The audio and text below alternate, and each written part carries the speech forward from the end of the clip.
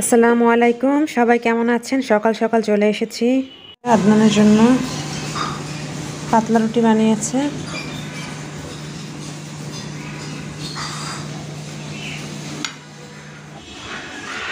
তো ব্লুবেরির জেলিটা দেব। একটা কমাই দিই, চারটা। আজকে যাই হোক অফিসে একটু লেট করে যাচ্ছে, তাই নাস্তাটা দিচ্ছি।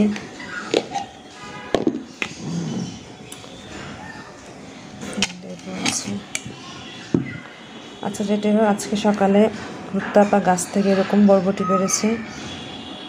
একদম ফ্রেশ বরবটি। ভাজা হয়েছে।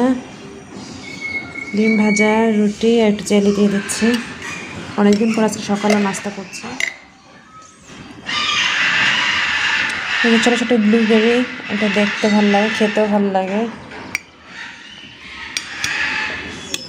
আর হয়েছে ছোটো ছোটো ব্লুবেরি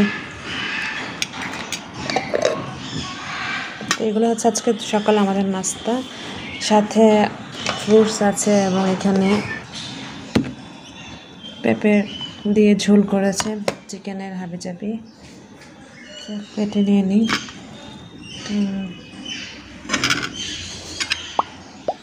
পাচ্ছেন, বাঁধাকপি দিয়ে গরু মাংস। সাথে মা বড় দেখে একটা রসুন দিয়েছে আস্ত। দুপুরের জন্য রান্না হয়েছে তো এভাবে এগুলো দিয়েই মানে গরুর মাংস আর মূলা তরকারি দিয়ে দুপুরে খাওয়া হয়েছে।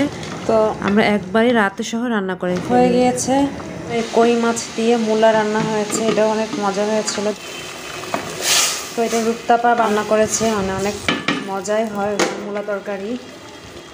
অসম্ভব মজা হয় এই মূলা তরকারিটা ওনার দেখতেই পাচ্ছেন কালারটা কত সুন্দর। বড় কই মাছ দিয়ে রান্না করেছে। মা বাইরে গিয়েছিল বিকেলে, তো বাইরে থেকে অনেকগুলো ফ্রুটস নিয়ে আসা হয়েছে, আপেল নিয়ে আসা হয়েছে, আপেলগুলোকে লবণ দিয়ে ভিজিয়ে রাখা হচ্ছে। তো কমলা আনা হয়েছে, ফলগুলো ধুয়ে নেওয়া হচ্ছে। কমলা, এখানে আপেল ভেজানো হয়েছে। আর পাশে হচ্ছে গিয়ে পেঁপে। একটা পেঁপে কেটে ফেলেন আজকে। এই যে এই পেঁপেগুলো একদম ফাটা।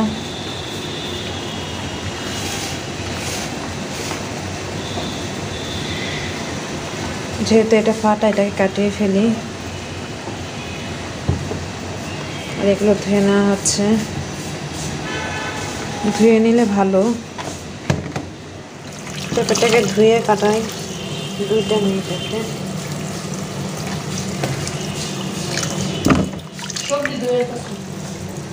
এই দুইটা কাটবেন এই দুইটা একদম নরম হয়ে গেছে।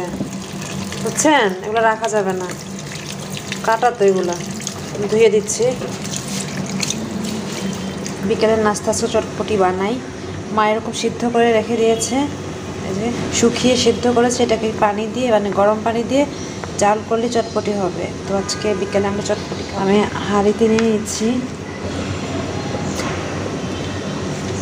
ফ্রিজে এরকম সেদ্ধ করে রেখে দিলে কিন্তু যখন তখন চটপটি বানিয়ে খাওয়া তো আমরা এরকম সেদ্ধ করে বক্সে বক্সে করে রেখে দিই। যেহেতু ঠান্ডা, আর গরম পানি দিচ্ছি না, আমি কল থেকে পানি নিয়ে নিচ্ছি ফিল্টার ওয়াটার এটাকে ভালো করে জাল করে একটা ডিম নিয়ে নিচ্ছি। একটাই নিচ্ছি, যেহেতু আমরা তিনজন খাব। আর সাথে একটা নতুন আলু দিয়ে দিচ্ছি, আলু আর ডিম দিয়ে সেদ্ধ করে নিচ্ছি। এই যে দুইটা এখন ধুয়ে ভালো করে সেদ্ধ করে নিব। যদিও ডিমগুলি কিন্তু ধুয়ে রাখা হয়েছে। তো রুক্তাপা আলুটাকে কেটে এরকম ডিমের সাথে সেদ্ধ দিয়েছে। যেটা আমার পছন্দ না কারণ ডিমের মধ্যে যতই আমরা ধুই না কেন আমার কাছে মনে হয় জীবাণু থেকেই থাকে। আর এই আলুটা তো দেখতেই পাচ্ছেন কেটে দিয়েছে আস্ত দিলে একটা কথা। ভেতরে কিন্তু ডিমের জীবাণু যদি থেকেও থাকে ভেতরে যাবে তাই না? তো আমি কিন্তু এই কাজটা করব না আমি আমি আলুটাকে একটু ধুয়ে নিব। যেহেতু অগ্নি দিয়ে ফেলছে সমস্যা নেই বানানোর আগে ধুয়ে নিব আলুটাকে। যাই হোক একটা আলু আর একটা ডিম সেদ্ধ হচ্ছে গরম করা হচ্ছে। দেখতেই পাচ্ছেন।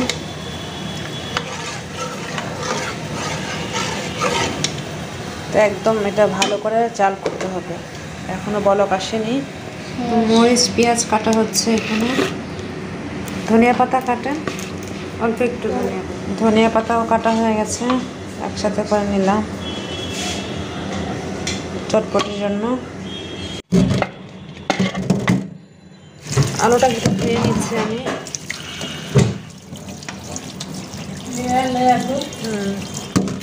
এক বক্স তেঁতুল ছিল শেষ অল্প একটু ভিজাই আর লেবু দিব।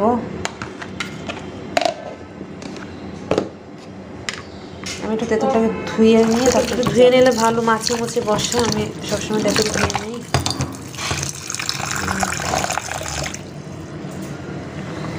আলুটাকে আমি একটু হাত দিয়ে চটকে দিচ্ছি আর কিছু কেটে দিব।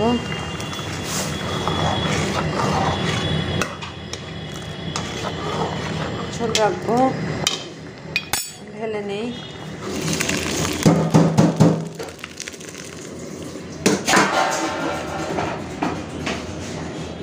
চটপটি মশলা, ধনিয়া জিরা, টালা গুঁড়া আর বিট লবণ।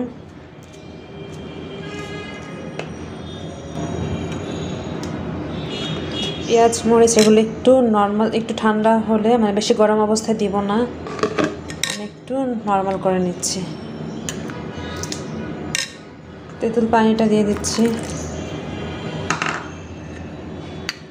তেঁতুল পানিটা একটু পাতলা নিয়েছে, যেহেতু বাবার জন্য আগে বানাচ্ছি, বাবা টক বেশি পছন্দ করে আর চটপটির মেন ইনগ্রেডিয়েন্টস হচ্ছে তেঁতুল পানিটা, যদি ভালো করে, মজা করে বানানো যায়। আজকে আমি ঝটপট কোনো রকম বানাচ্ছি। আলু আর ডিম কুচি করা হয়েছে ওগুলো দিচ্ছি। পেঁয়াজ দিব না, যখন যে খাবে পেঁয়াজ দিয়ে নিবে, কারণ পেঁয়াজ দিলে গন্ধ হয়ে যায়। ধনিয়া পাতা কাঁচামরিচ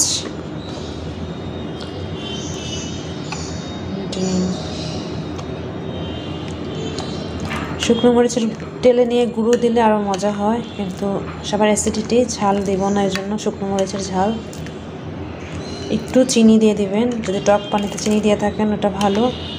তো আমি যেহেতু টক পানিতে চিনি দিইনি, আমি এখানে একটু হাফ চা চামচের মতো চিনি দিয়ে দিব।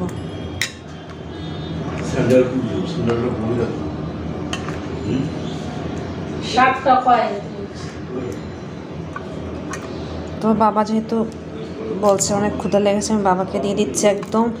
পেঁয়াজ ছাড়া আর ঝাল ছাড়া হালকা টকে কারণ বাবা ঝাল খেতে পারে না আর পেঁয়াজ খায় না। বাবাটা রেডি বাবাকে একদম এতটুকু অনেকগুলো দিয়েছি অনেক ক্ষুধার্ত এই জন্য। বাবা।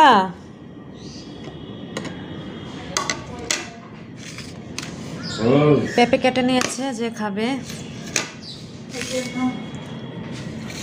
তো মা বাইরে গিয়েছিল। আমাদের হাঁসের ডিম পছন্দ, সেদ্ধ ডিম নিয়ে আসছে তিনটা। ভালো করে ধুয়ে নিয়ে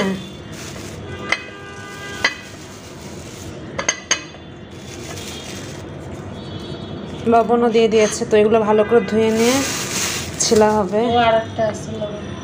ও লবণ। আছে। তো আপনি একটু ধুন। তো এই ঠান্ডার কারণে কলা আনা হয় না আজকে ভালো কলা দেখেছে মা নিয়ে হাঁসের ডিম আর কলা নিয়ে আসছে। যাই হোক। তো ডিমগুলো ছিলানো হয়েছে তিনটা ডিম কিনে নিয়ে আসছে এক একটা বিশ টাকা করে। সেদ্ধ করা অবস্থাতেই কিনে আনা হয়েছে। একটু লবণ দিব।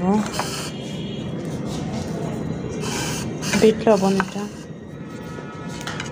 এটা বাবার। রাতে ডিনারের জন্য গরুর মাংস, বাঁধাকপি দিয়ে রান্না করেছে মা। খুব সুন্দর কালার হয়েছে, দেখতেই পাচ্ছেন। আর এরকম উইন্টারে বাঁধাকপি দিয়ে এরকম গরুর মাংস কিন্তু খুব মজা হয়, করে দেখতে পারেন। নর্মালি যেভাবে আমরা গরুর মাংস রান্না করি ওইটাই জাস্ট লাস্টের দিকে বাঁধাকপিগুলো দিয়ে দিলেই হলো। তো মা এটা প্রায় করে বিশেষ করে উইন্টারে আর এখন সবাই আমরা ডিনার করব। ডাল আছে মূলা তরকারি আছে কই মাছ দিয়ে আর এইটা। এই তরকারিটা দুপুরে রান্না হয়েছিল হটপটে ছিল। একটু গরম করে নিচ্ছি। যেহেতু ডিনার করব একটাকে গরম করে নিচ্ছি। হয়ে গিয়েছে। গরম দেওয়া এখন আমি হটপটে নিয়ে নিব। হটপটে ঢেলে নিলাম।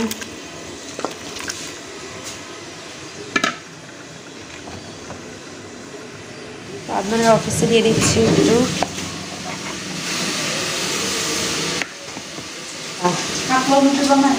পাতলা রুটি?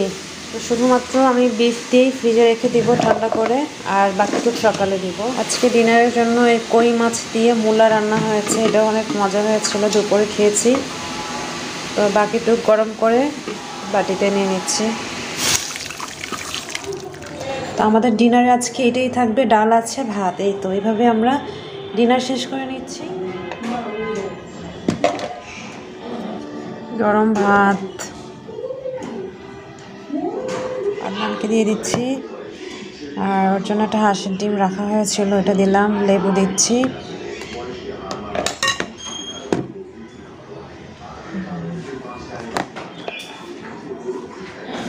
দুধের মধ্যে হলুদ দিয়ে দিচ্ছি আদনানের ঠান্ডা। তো এরকম ঠান্ডা লাগলে, নাক পানি আসলে দুধের মধ্যে হলুদের গুঁড়ো দিয়ে খেতে পারেন। অথবা হলুদের গুঁড়ো দিয়ে জাল করেও খেতে পারেন যাই হোক এটা আদনানকে দিয়ে আসি। রাত বাজে এগারোটা তো হঠাৎ করে চা খেতে ইচ্ছে করল। চা বসিয়ে দিয়েছি ডিনারের পর। আমি চা খাচ্ছি আর রূপতাপা ভাত খাইতেছে। গরুর মাংস দিয়ে না? কেমন হচ্ছে আজকে? আপনি রান্না করছেন না মা মানাম দোষ মা?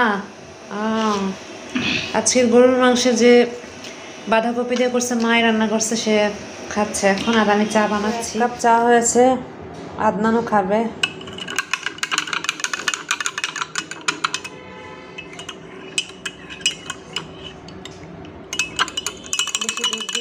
তো রাত অলমোস্ট এগারোটা দশ বাজে। আমি চা বানাচ্ছি।